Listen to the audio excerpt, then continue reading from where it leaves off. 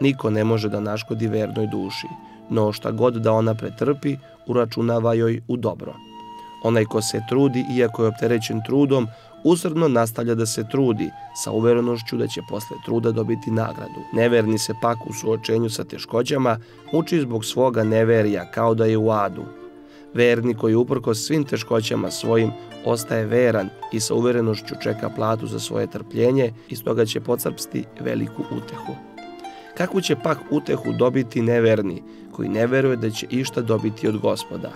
On sedi i rastrojava se u pomislima i kakva god da ga nevoljica snađe, on u sebi govori. Ovaj mi je rekao, ali i ja ću njemu svašta reći. On zlopamti i zamišlja nemoguće stvari koje uopšte ne može da ostvari.